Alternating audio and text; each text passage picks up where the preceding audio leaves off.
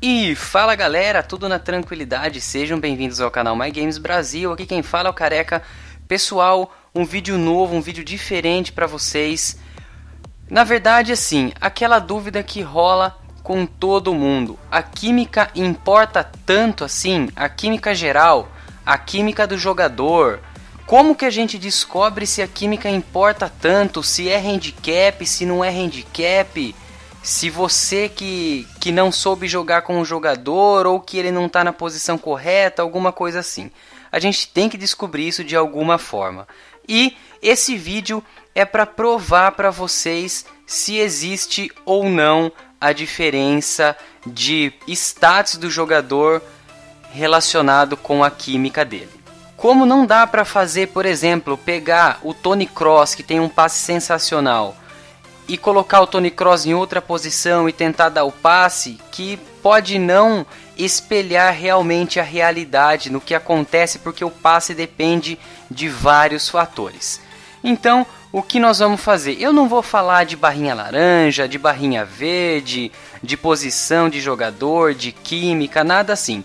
Eu simplesmente vou mostrar a prova que eu vi. É, já foi feito esse teste e eu estou repassando para vocês a prova de que existe ou não existe essa esse decréscimo ou acréscimo de pontos no status de cada jogador, por exemplo, se ele tiver em outra posição, alguma coisa assim. Então, como que será feito esse teste? A primeira situação, nós pegaremos um jogador na posição correta, o time e jogador com 100% de química. Na segunda situação, nós pegaremos o jogador com o mesmo elenco, mas em posição diferente, em uma posição que ele não joga, totalmente diferente. E a terceira situação, nós teremos aí o jogador no banco de reservas entrando depois no elenco. Vamos ver se tem alguma mudança isso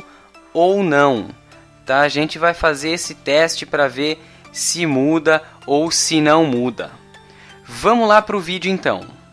O teste vai ser assim: eu vou pegar o William, que é o meu meia direita, e vou fazer um teste de corrida com ele. E nós vamos comparar as três corridas ao mesmo tempo: a corrida dele sem química, a corrida dele com química e a corrida dele entrando no intervalo, para a gente ver se realmente muda, se realmente tem diferença nos pontos de stats, que é o que a gente vai sentir. Vamos dar uma olhadinha aí.